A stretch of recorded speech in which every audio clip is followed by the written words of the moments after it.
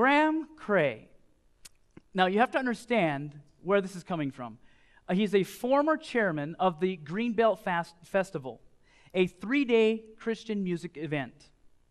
And it features groups from hardcore to classical, acoustic to junk funk.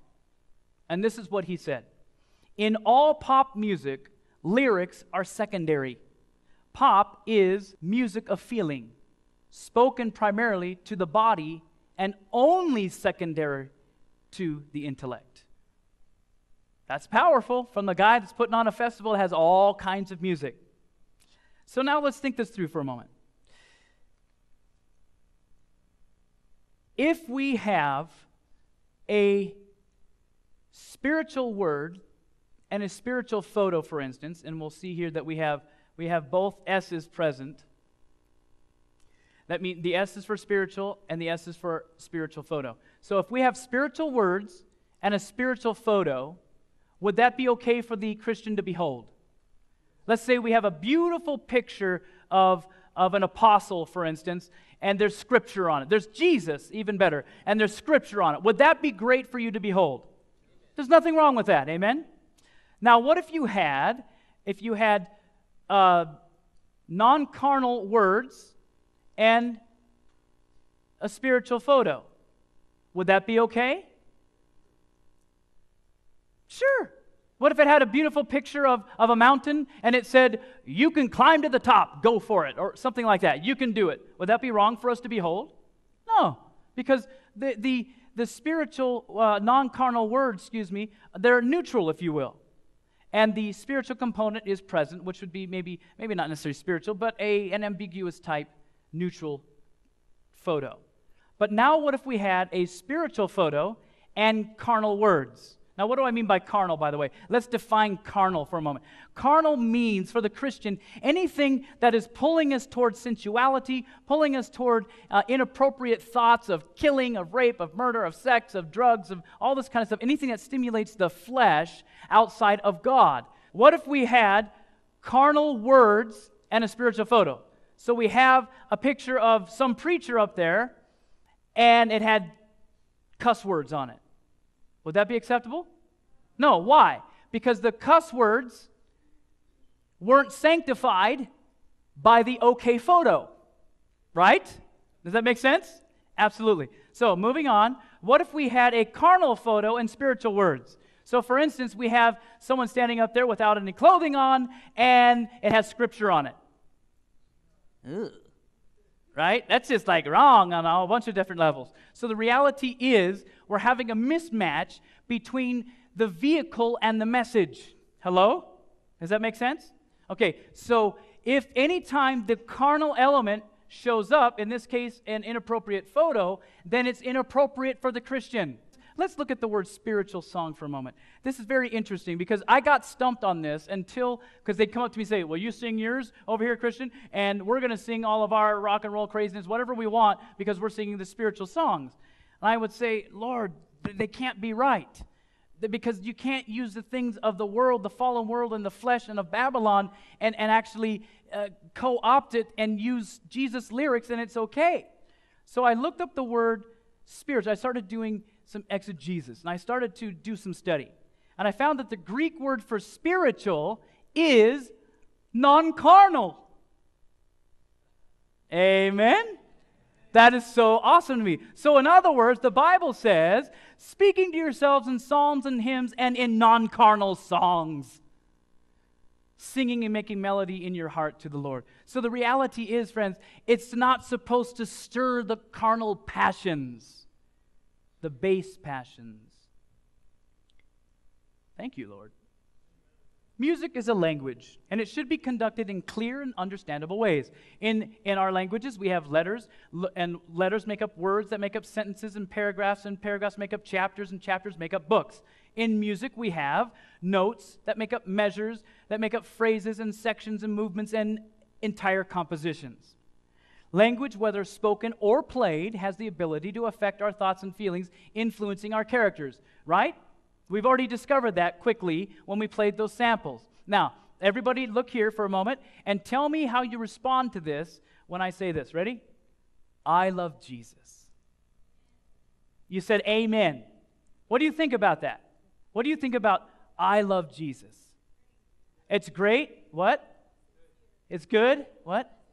Sincere. How about over here? Uh, you do too. Amen. All right. So, awesome. So you're responding to the words or the body language? Both. Okay, both. All right. So I could simply use these words and say, I love Jesus, and I can make a proclamation. So now, are you saying that the body language and the words must match? Yes. You know where I'm going with this, right? How about this one? Ready? Everybody, look. I love Jesus. What do you think about that? What? Sarcastic, negative, insincere, a fraud, uncaring. Okay, wait a minute. I said the same lyrics. I love Jesus. What were you reading that undermined the words? Body language. Music has body language, friends. And so if I'm playing a song that's kind of trite, whatever, I love you, and I'm saying I love Jesus, I can undermine the lyrical content just with the musical composition. Does that make sense? Put this little tool in your notes because these are things that help us to decide the music we should be listening to. All right, so that would be like kind of whatever, trite. Okay, how about this one? Everybody watch because we are reading body language. And in this situation, we, we read body language with our eyes. However, when we're listening to music, we read body language with our ears. Okay, ready? Here we go.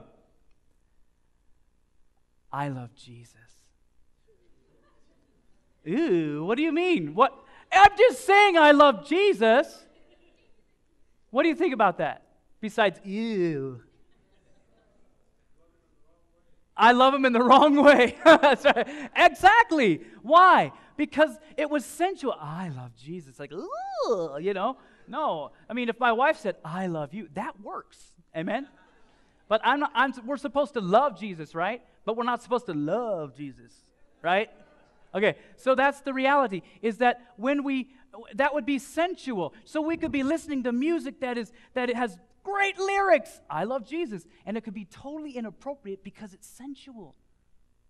Is that making sense? Okay, so how about this one? I love Jesus. I like that one because everybody goes. Ugh. I'm mad. Anger. I love Jesus. So, what if I'm playing a song? I love Jesus. I mean, do you see almost how silly it is when we start thinking it through? I know what's going to go on YouTube now. Unbelievable. We've already set this up, and you're going to tell me how you respond to this, because now he's going to play a little bit more over the keyboard using harmony and melody, and of course, rhythm, which we'll get to in just a moment. Go ahead.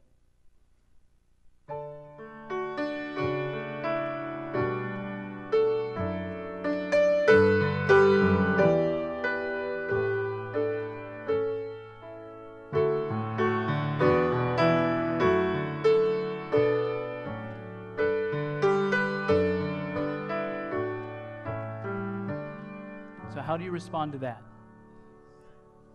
peaceful, soothing, touching. You see, it was the same melody and chords, yet we changed the body language of it. Isn't that awesome?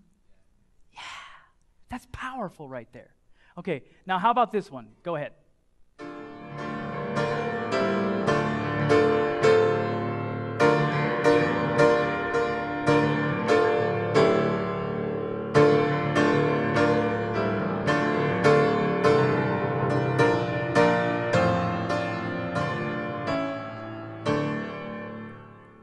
About that one? Well, how do you feel with that? How, what's wait a minute? What's the language telling you? Because there's no lyrical content here. Hello?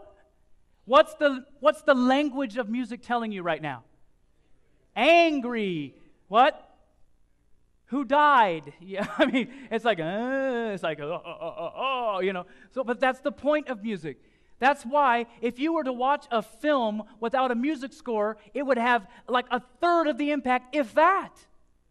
You could have a person sitting under a tree and have this la la la la la la. It'd be like, oh, that's nice. Or, and the camera could be doing like slow push in, right? Or you could have the same exact scene that's going dun dun dun dun dun dun. They're like, oh no, what's gonna happen? Because music alone has the body language. Are you getting it? All right, praise God. So we have to think about this. Even if it has Jesus lyrics on it, the music itself could be sending a whole different message.